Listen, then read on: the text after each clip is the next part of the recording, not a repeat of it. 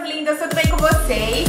O vídeo de hoje é um vídeo especial por uma causa super importante. Eu recebi pedidos aqui no canal, eu ia fazer sim, com certeza, mas quando eu recebi, me inspirou ainda mais e eu já trouxe logo porque eu fiquei super ansiosa.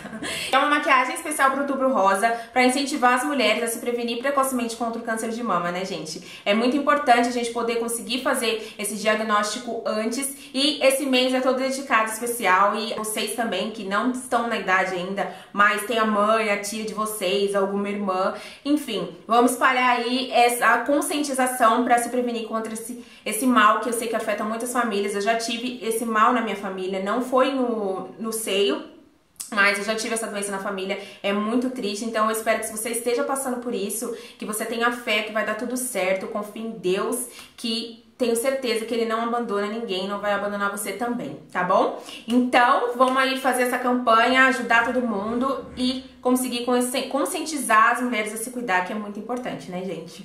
Mas eu fiz essa maquiagem, eu espero muito que vocês gostem, que vocês se inspirem, que consigam recriar na casa de vocês. Pode adaptar os produtos que vocês quiserem, trocar a cor do batom, como eu sempre falo, tá? É uma make, assim, super fantástica. Eu amei o resultado final, ó, super fantástica. Mas eu amei o resultado final, achei que ficou super feminina, delicada, sofisticada. E eu usei os tons de rosas pra valorizar também o nosso tom de pele, né, divas? Que eu sei que vocês amam e eu também, tá bom? Então, vamos lá começar o vídeo pra saber como é que eu fiz. Bom, meninas, vamos lá começar. Já apliquei meu fixador de sombras, esse aqui é o da Tracta, que eu falei pra vocês que eu tô adorando usar, em toda a pálpebra móvel e abaixo da raiz E hoje a gente também. vai usar quase todas todos os, os, tons pra fazer esse olho maravilhoso. É com essa paletinha aqui da Catherine Hill. Eu vou usar o rostinho, os dois tons de rosa, esse marronzinho mais Adoro. quente também. Aí aqui tem muitas cores também pra nossa pele, gente. Fica umas makes incríveis. Eu vou fazer vários tutoriais. E a única sombra que eu não vou usar dessa paleta é a marrone da Candice Berenice. Ela vai ser a base de todas as outras sombras que a gente vai aplicar. E eu vou começar aplicando no meu côncavo com um pincelzinho bem fofo de esfumar, já esfumando até quase a minha sobrancelha. Em seguida, com o pincelzinho lápis, eu vou aplicar também a mesma sombrinha aqui abaixo nos meus cílios inferiores também, para ajudar a fazer esse efeito esfumado que a gente vai criar com esse olho rosa lindo. E agora nós vamos vir para a minha paletinha linda com esse tom de marronzinho aqui mais quente, que dá, vai dar uma profundidade incrível no olhar. Vou pegar com um pincelzinho de esfumar mais fofinho, menorzinho também. E vou esfumar o côncavo com ela.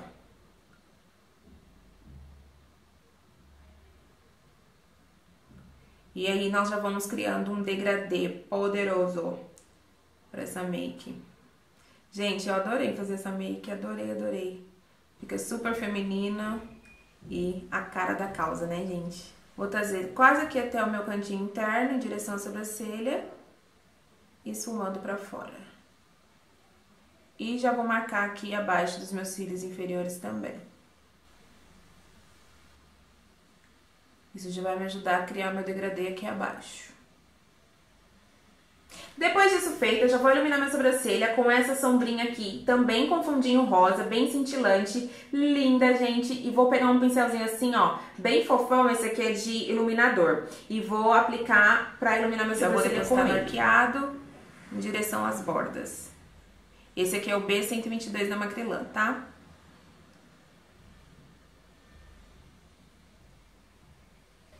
E olha que efeito lindo que dá também rosadinha, super iluminado. Vou pegar um pincelzinho de esfumar de novo, que a gente esfumou a primeira sombra, e vou tirar as marcações. Com o pincelzinho W905 da Macrylan, eu vou pegar essa sombrinha roxa aqui, linda, linda, linda, gente. Olha o poder dessa sombra.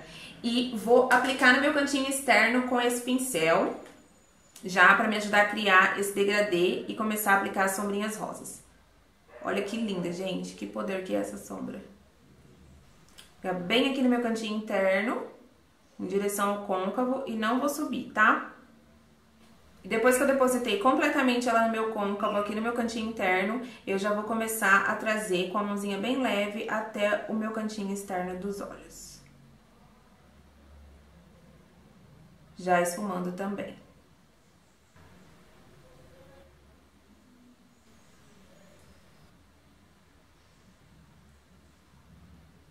Pegar o meu marronzinho quente Não. de novo e vou com um pincelzinho menorzinho de esfumar também e vou esfumar as bordas desse roxinho para tirar as marcações.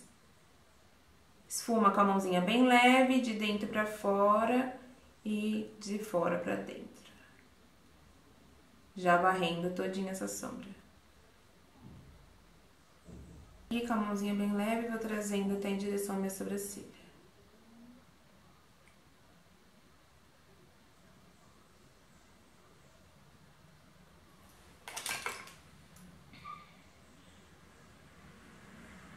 Com pincelzinho chanfrado e essa mesma sombrinha roxa, eu vou depositar bem rente a raiz dos meus cílios inferiores, também ajudando a gente a começar a criar esse degradê aqui embaixo, como a gente já esfumou as sombrinhas marrom.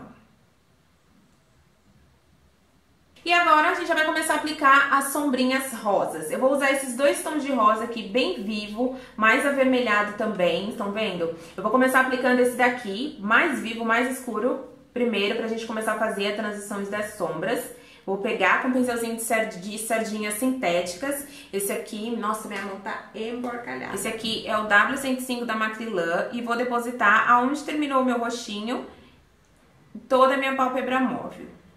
Só não no cantinho interno, tá? Em seguida, eu vou aplicar o rosinha mais clarinho. Com o mesmo pincelzinho, tá, gente? Não tem problema. Encontrando com a sombrinha rosa que a gente aplicou primeiro. E olha que efeito lindo que dá, gente. Eu fiquei encantada com essa make. Encantada. Volto com meu W909, que a gente aplicou a sombrinha roxinha. E vou, sem nenhum produto, só marcar o meu côncavo de novo.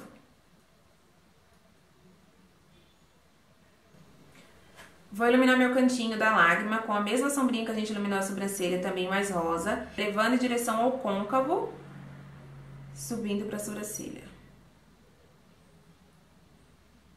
Ah, gente, esqueci de falar também. Com, com o que sobra aqui no pincel da sombrinha rosa, eu vou começar a aplicar bem aqui no meu cantinho externo, no meu cantinho interno da lágrima, pra, encontrando a sombrinha roxa para ajudar a gente a criar o degradê das sombras de cima também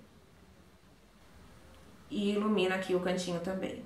E para sombras é isso, tá vendo? Muito fácil e deixa um efeito incrível nos olhos. Eu vou fazer meu delineado, eu já fiz um vídeo mostrando pra vocês delineado essa semana, né, divas? O que, que vocês acharam? Me contem. Vou fazer o mesmo delineado que eu quero que o destaque desses olhos seja somente as sombras, vou fazer ele bem fininho, bem pouquinho só puxado, aplicar os cílios postiços e falar pra vocês que eu usei na minha pele.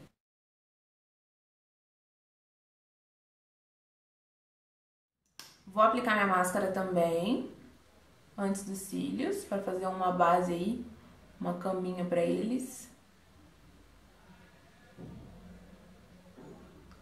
E essa aqui é a minha queridinha do momento, efeito boneca da Dylos.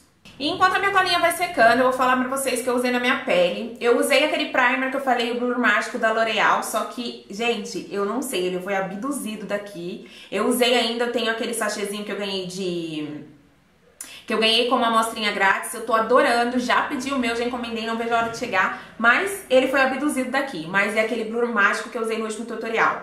E a base foi a NC45 da MAC, que deixa a pele incrível. Contorno Dallas da Bennett também, com esse efeito mais amarronzado.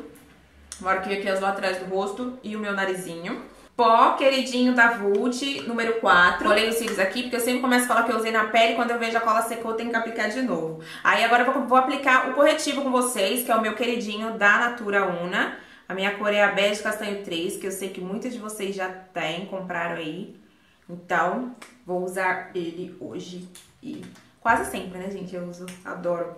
E vou espalhar aqui com um pincelzinho de sardinhas naturais em toda essa região aqui. Não vou retirar o meu esfumado que a gente fez rosinha e já vou trazer aqui pra fora, ó. Vou fazer todo esse triângulo hoje com o meu pincelzinho de sardinhas naturais, que deixa o efeito aqui das sombras muito mais marcado, muito mais lindo, destaca, valoriza bastante, ó. Vou espalhando, mãozinha bem leve. Tomando cuidado pra não tirar o esfumado. E termino com os dedos. E ó como é que vai ficando. Super valorizado. E ó, dá todo esse efeito aqui, deixando os olhos mais puxadinhos, bem iluminado, destacando, valorizando mais nossa sombra poderosa. Eu tinha esquecido de falar também, eu vou aplicar um pouquinho de corretivo na minha linha d'água. Se você, se você quiser, pode aplicar um lápis bege, mas vou aplicar um corretivo, pra mim funciona super bem. Pode ser um sequinho que você tiver, pra abrir mais meu olhar, ó.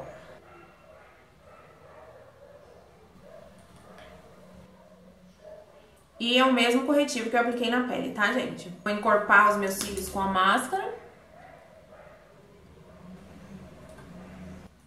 É a mesma máscara que eu apliquei nos meus cílios também, tá, meninas?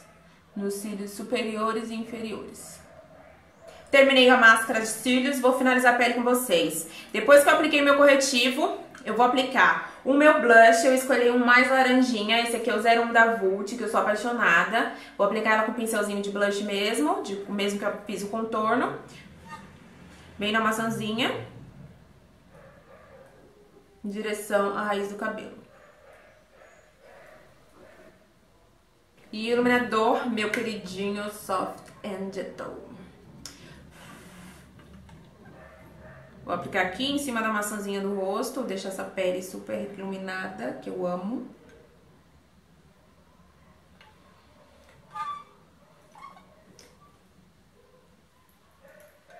Levando em direção ao esfumado também. Topo do nariz, pontinha. Aqui no canal também já tem vídeo de contorno iluminado, tá, divas? Se fica alguma dúvida.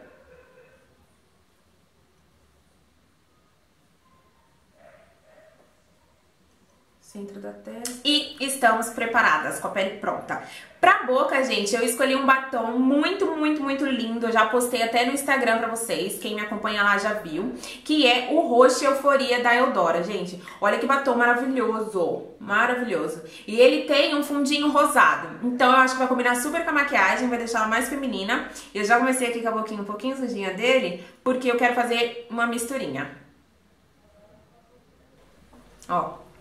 Apliquei bem de levinho e ele. Vou misturar ele com o Fast Play da MAC, que é esse nude aqui mais rosinha marronzado.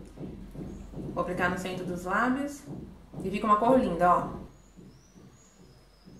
E é isso, amores. Eu espero muito que vocês tenham gostado dessa maquiagem, consiga se inspirar no final de semana para sair com seu marido, com seu namorado, passear com as amigas. Uma maquiagem bem alegre, feminina, sofisticada, que eu adorei o resultado final e fiquei muito feliz de fazer por essa causa super importante, tá? Se ficou alguma dúvida, deixe nos comentários. Se você quiser falar comigo, é só me seguir nas redes sociais, no Instagram, arroba saber de todas as novidades no facebook.com, Blog. A lista de produtos usados vai estar aqui no box de informações do vídeo para vocês não perderem nenhum passo a passo e mais fotos, detalhes da make no blog também. Se inscreva no canal também para receber todos os vídeos assim que eu enviar você recebe, tá? E não perder nenhum tutorial aqui que eu vou fazer pra vocês, tá bom, amores? É isso, um beijo, até o próximo vídeo e fiquem divas!